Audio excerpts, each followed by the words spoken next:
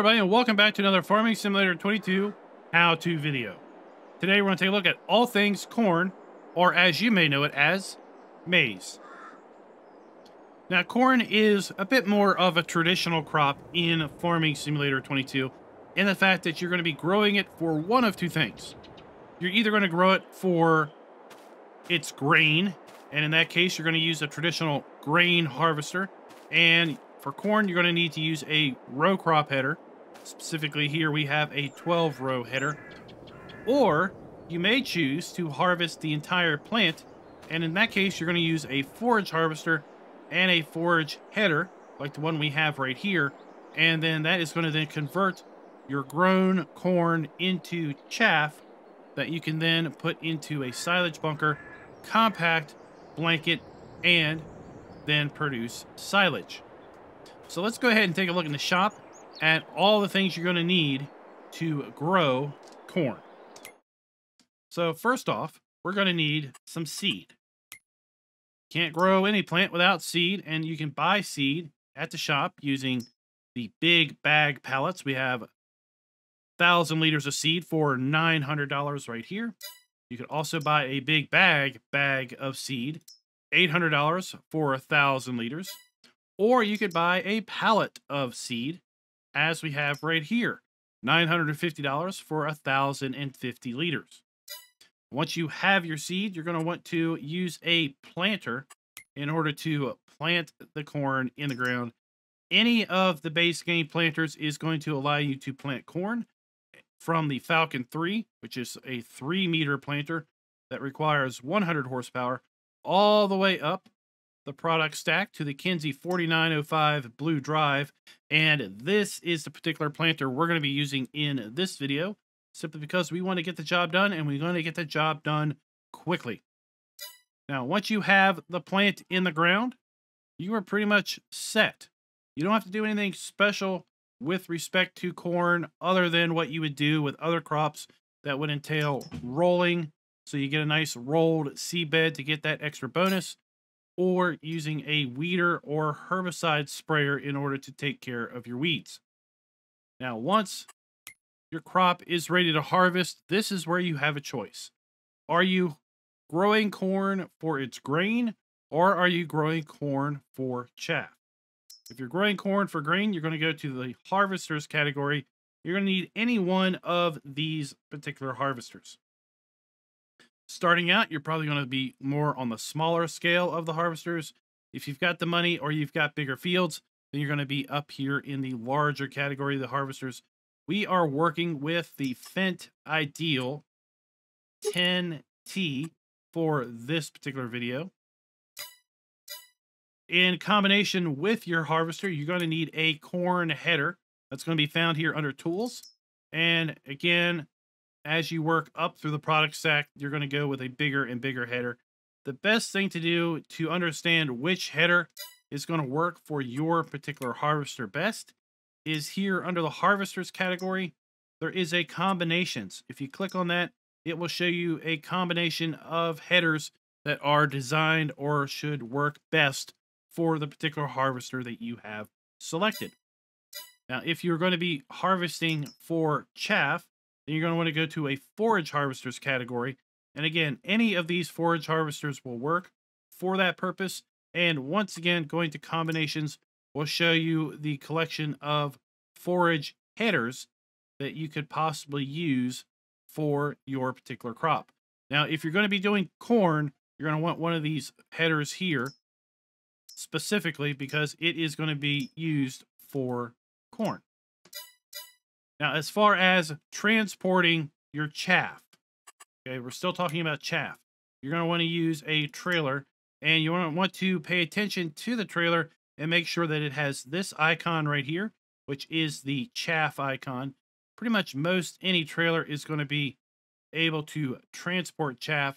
Although as we move up the product stack, you're going to see that some of these trailers are going to be a bit more specific with what they allow you to transport and as such are going to be a bit more of a forage type trailer. Like here we have the Radium 225. It does have chaff listed right there. Now for this particular video, we are going to use the Annaburger Field Liner.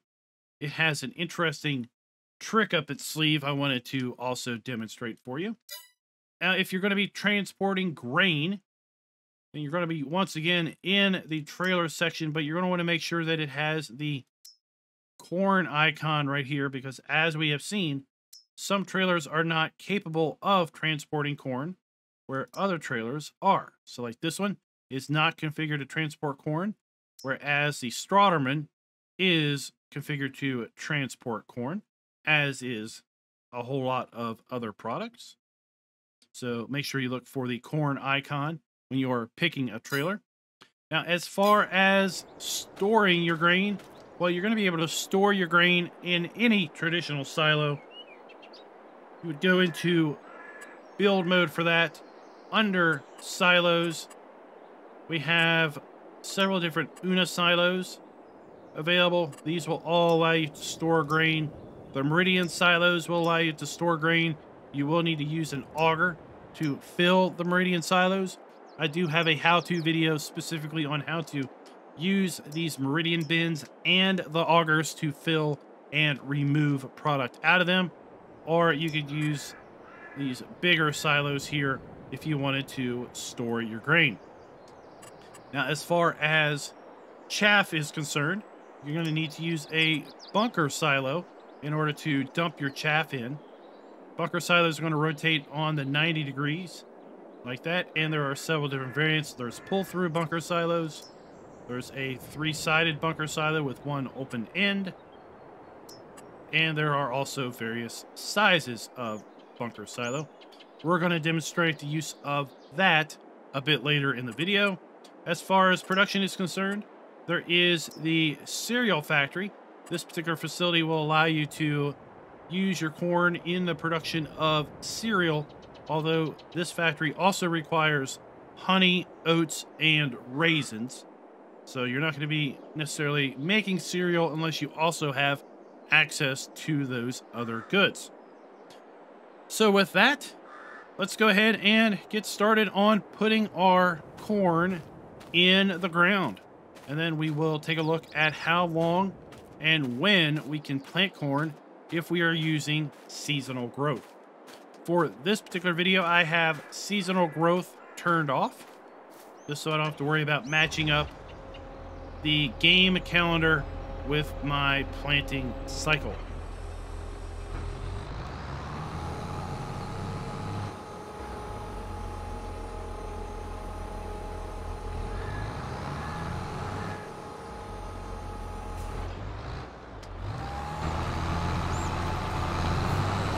I'm going to hire a helper here so that we can focus on other things. As you can see, we are at 98% yield bonus. We will need to come through here with a weeder or herbicide sprayer to de-weed the field. And we're also going to come through here with a roller and get the rolling bonus so that we can get our yield bonus all the way up to 100%. Now, if you are playing with seasonal growth turned on, then you will have your seasonal growth crop calendar, and you will see that we can plant corn in April and May, which is the default crop calendar, and we will then be harvesting our corn in October and November. But again, for this particular video, I have seasonal growth turned off. And we are now going to finish planting our field, I'm going to go ahead and roll it and weed it, like I said. And we're going to come back and see how long it's going to take to move through the various growth cycles from planted to ready to harvest. One month post planting, we have our first emergence of our corn crop. Two months after planting, we have another growth stage. Three months after planting, we have yet again another growth stage. Here we are, four months after planting, and our corn, well, she has gotten quite tall. And it looks like the bottoms are starting to maybe dry out a bit. Now, five months post planting, we are at the final growth stage. Seems to be a little bit of a difference between the previous month and this month. I think the biggest difference maybe is kind of the corn is popped out of its husk a bit. And if we look at our growth, we can see that we are indeed in the final roast state. And with that, we are now able to, if we want, use our forage harvester on our corn. We do not have to wait until the corn is listed as ready to harvest in order to do our forage harvesting.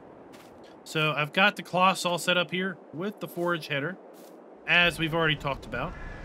I have unfolded the CLAAS harvester and put the pipe out with the O key. We're going to hire a helper to do our forage harvesting. And we're going to run the tractor. Yes, I know some forage harvesters will allow you to attach a trailer to the back. You can do it all with one person without having to hire a helper. But this is maybe a bit more of the traditional way of doing things. And as such, this is how I want to demonstrate it. As you can see, the forage harvester is taking the entire plant in with the header, is then running it through some knives and chopping it up.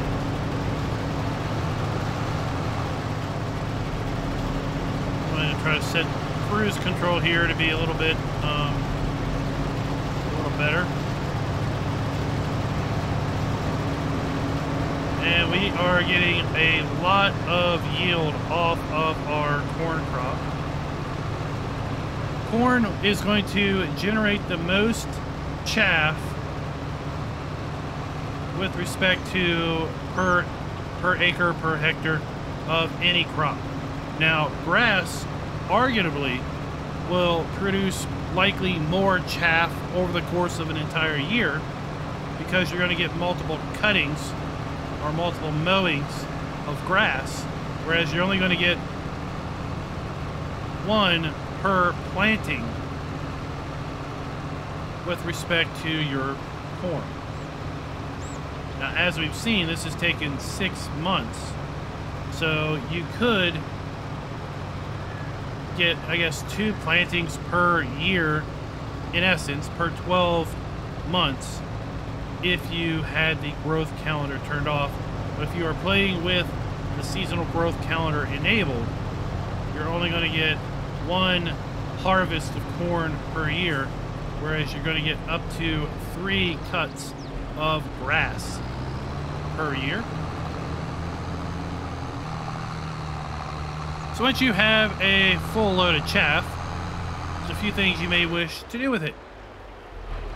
If you happen to own the biogas plant on the map that you are playing on, you may choose to bring your load of chaff down to the biogas plant and dump into, if your biogas plant has them, dump into the silage bunker.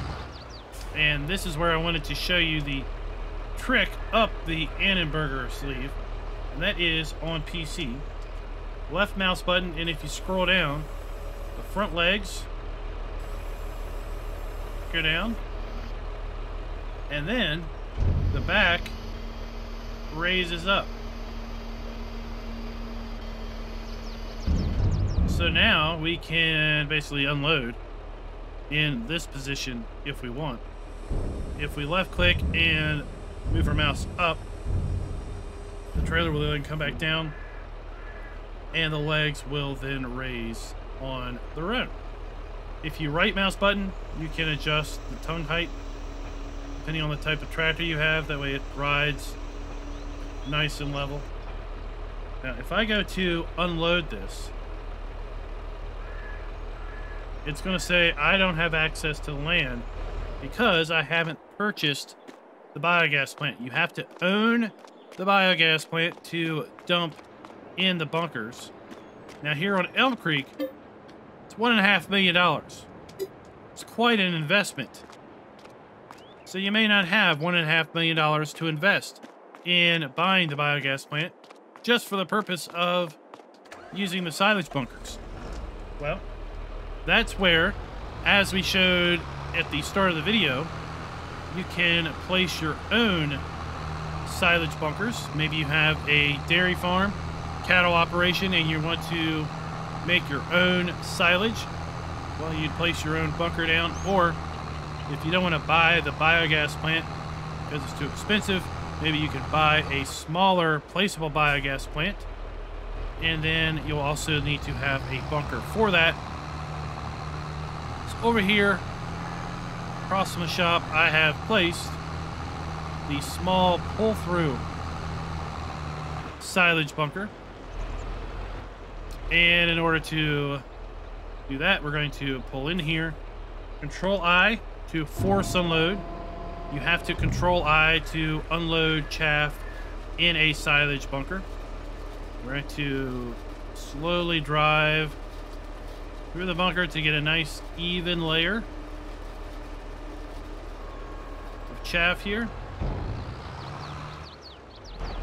And we're going to cover making silage in another video. We're not going to go into the full extent here. But as you can see, we have our 55,000 liters. It's 1% compacted. We're going to need to compact this to 100%. Then we'll be able to cover it with a blanket. And then it will, quote unquote, cook, as I call it, until it converts to silage. Now let's go ahead and move forward one more month, and then our crop should be ready for harvest and at that point, we'll be able to use the grain harvester to harvest our corn out of the field. Okay, I think I misspoke earlier. I think I said it was six months. We are now at six months. So I kind of lost track of track of time there for a little bit with all the, the cuts. But any rate, we are now at six months post planting and our crop is ready to harvest. So once it's ready to harvest, you can see that the whole plant has now kind of turned a bit brown. It is all now, I guess, dead and dried, as you would say. So what we're going to do is jump in our ideal harvester.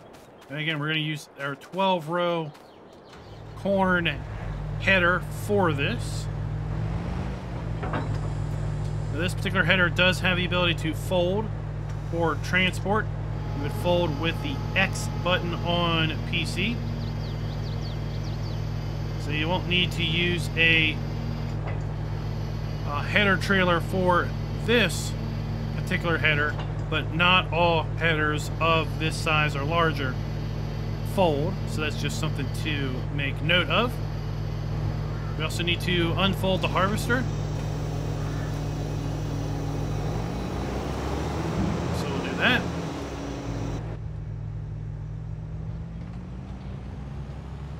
This particular ideal I like because you can get it with what's called ideal drive.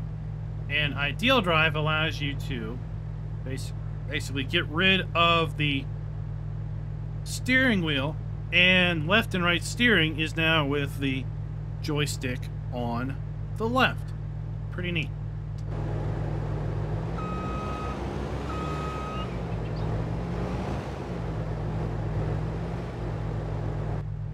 So one thing that's really cool with respect to corn is you can kind of do a lot of it in cap without having to worry about skipping ro rows.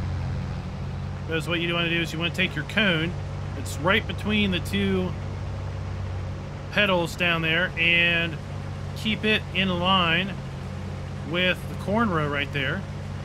And as long as you have that done, then you are running straight and true and you won't have to worry about skipping any rows, assuming that you've lined it all up right at the start. We zoom out, and you can see our corn is flowing in here. We'll jump out so we can take a look at the whole process.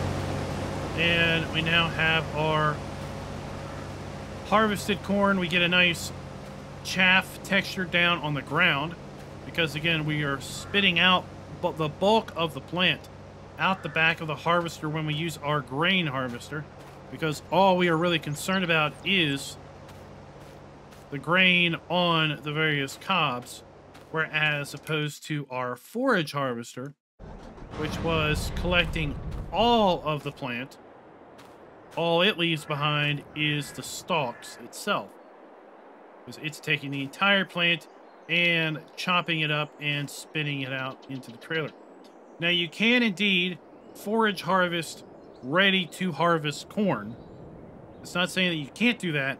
Why I wanted to demonstrate forage harvesting in its last growth stage was simply to demonstrate that that is a capability that you can forage harvest corn at five months post planting. You don't have to wait until it is fully ready to harvest. Uh, just to demonstrate the purpose or the use of an auger wagon, we are going to unload our harvester here. We're going to want to open the cover with N. Since this is a rather large auger wagon, really wish we had some smaller auger wagons base game equipment. But at any rate, here we have the Bergman auger wagon. We're going to pull up underneath the harvester. And of course, the harvester needs to be running in Farming Simulator 22 for it to unload. The reason we're going to use a tractor and an auger wagon as opposed to using our, our semi or our truck to unload the harvester is that typically your tractor and your auger wagon are going to have much wider tires. They're going to not compact the soil as bad as, let's say, a semi and a semi-trailer with road tires.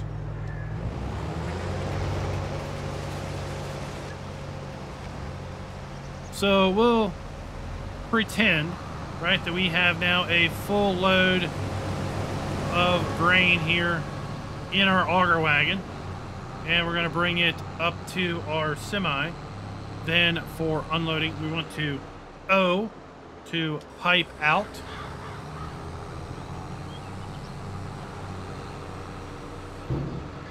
And with this particular auger wagon, we can use the left mouse button to change the angle. Left mouse button, left and right, will change the output angle. And right mouse button, left and right, will change the tilt of the pipe.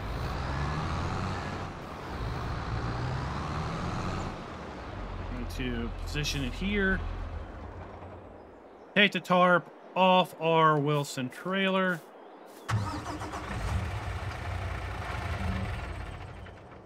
Really need to turn on the leave engine running function, right? And then we will unload into our truck, just like that.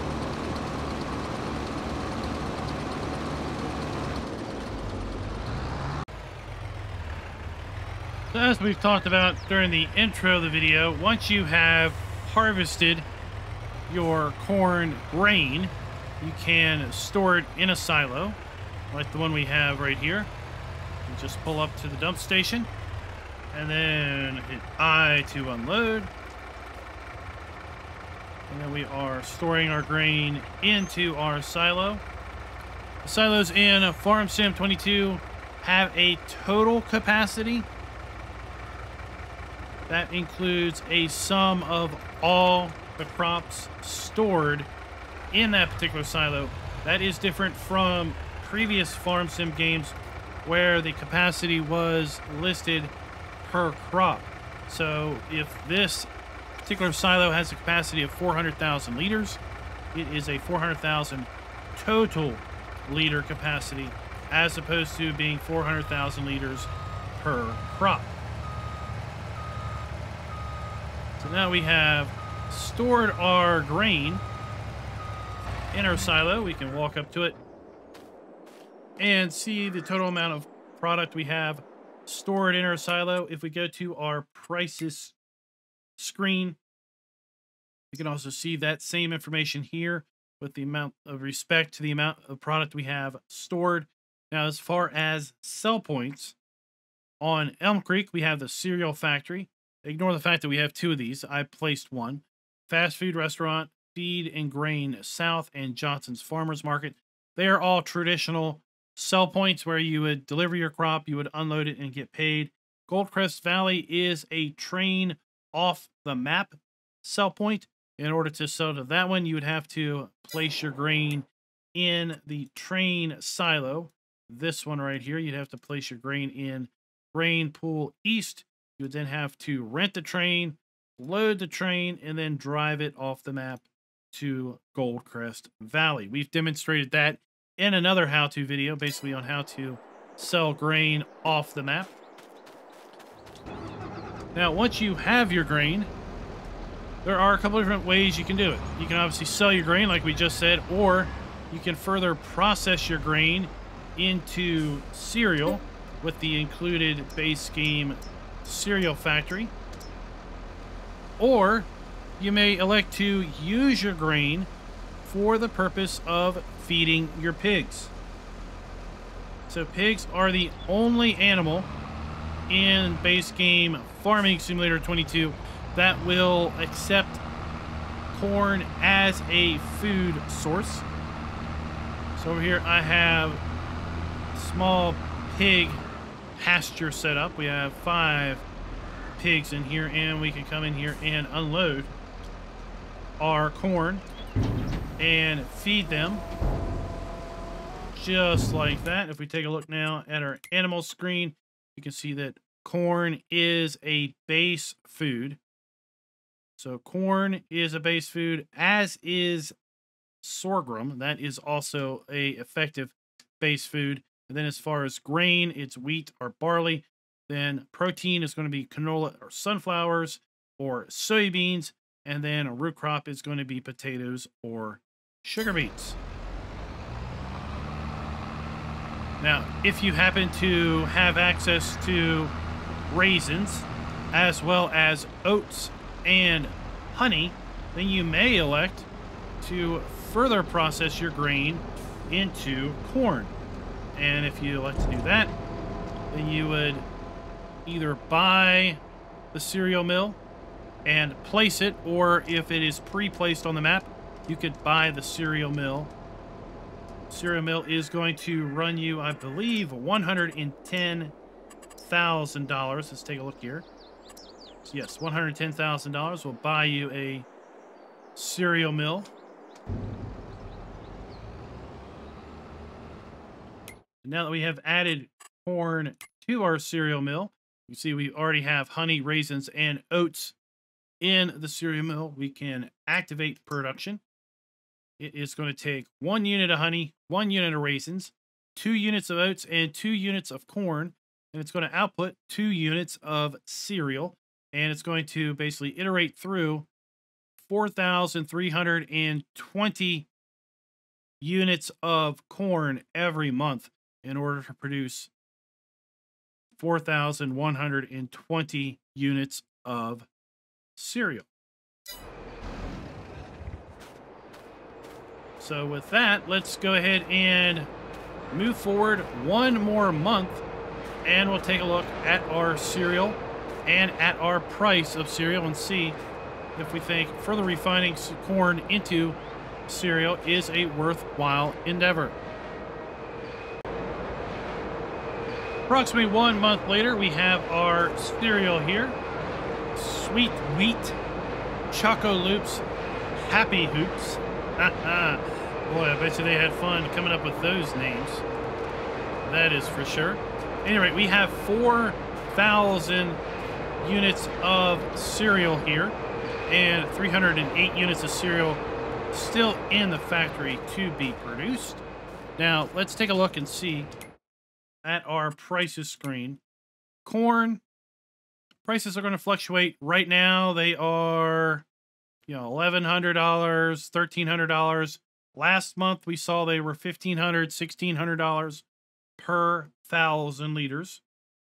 Now, cereal, of course, it does require a fair number of other inputs, But cereal is going to sell for right now $7,500 per thousand liters. So we went through 4,000 units of corn in order to make 4,000 units of cereal. And we are going to really increase our profits. But of course, we have to have a resource for honey. We have to have a resource for raisins. And we have to have a resource for oats in order to reap the rewards of our cereal production. But if we have those if we have those resources and can satisfy those requirements, I think producing cereal is going to be a worthwhile endeavor. So guys, that is basically it with respect to corn, or as you may know it as maize. We have covered how to plant corn, what you need for that, what you need in order to basically get 100% extra yield bonus after planting your corn. You'll need to have your field fully fertilized, limed, as well as weeded and rolled.